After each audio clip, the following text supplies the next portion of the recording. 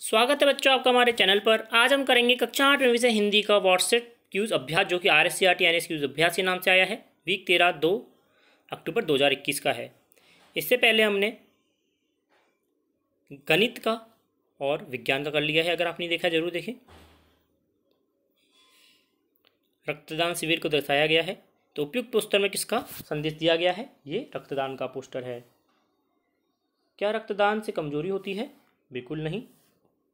रक्तदान शिविर में प्रायोजक है मानव सेवा समिति। रक्तदान शिविर में कितने दिन को रखा जाता है? चार दिन। उपयुक्त बैनर में डॉक्टर की संख्या कितनी है? दो। रक्तदान शिविर में लिया गया रक्त कहाँ सुरक्षित रखते हैं? ब्लड बैंक में। रक्तदान करने की न्यूनतम आयु कितनी होती है? अट्ठारह वर्ष।